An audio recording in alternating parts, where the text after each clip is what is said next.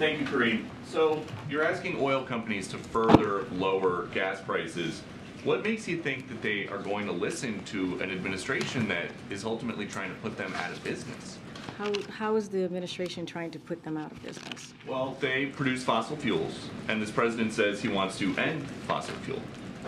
So look, um, I, you kind of asked me this question yesterday, and here's here's where uh, where we would say U.S. oil production uh, is up and on track to reach a record high next year. We've seen that from their uh, uh, from when we see their profit margins. They are uh, they uh, you know it's record high.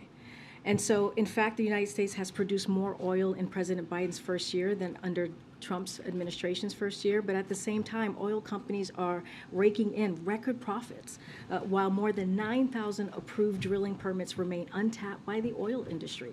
There is no shortage of opportunity or incentive uh, for oil companies to ramp up production. This is something that they can actually do. It is available to them. They can do this, and also they are getting the profits. And so, because they're getting, I just showed 60 cents uh, at, on the chart, uh, more profit, right? That they that we're seeing, higher, more higher costs that we're seeing that what than uh, what uh, retailers are paying at the pump. They can bring that down. They've done it before. You saw that at the chart in the beginning. They were able to bring uh, prices down.